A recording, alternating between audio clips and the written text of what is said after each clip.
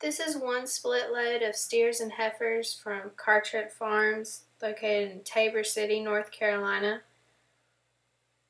This load will be about two-thirds steers and one-third heifers, both in the six weights.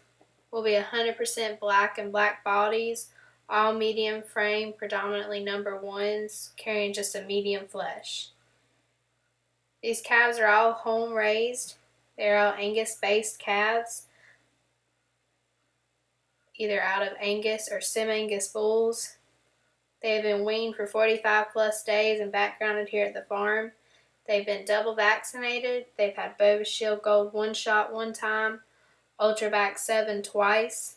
They were not implanted and were dewormed with Ivomec Pour-On. They're getting a total mixed ration of corn, oats, and soybean meal and also mineral pasture and some hay. They can be loaded out July 15th or July 19th through the 21st. They'll be hauled 10 miles and weighed on the truck on certified scales with a 2% shrink and an $8 top slide.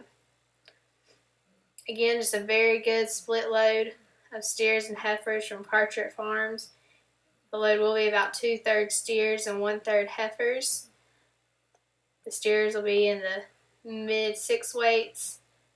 Heifers will be high five weights or low six weights. We will have an accurate weight on them at sale day.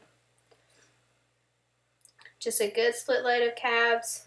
They're on the Select Vac program. They've been double vaccinated. They're all home raised. They've been weaned for 45 plus days. A really fancy set of steers and heifers that can be delivered right after the sale.